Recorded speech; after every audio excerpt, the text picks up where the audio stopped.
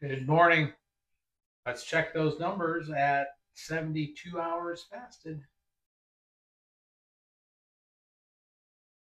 Glucose is in a nice range. It's in the low 70s, which is nice. Ketones, of course, are holding steady, which I've come to expect. And I like, which means the GKI is under one, which is the consistent goal here. Let's take a look at the snapshot. Plan for the day is I'll eat, break the fast in about eight hours or so. Uh, and the reason I'm doing that is because of the timing to when I would be eating Sunday. And there's just something in my head that wants to go, all right, let's split this number and let's see if we can make make those fasts about the same length.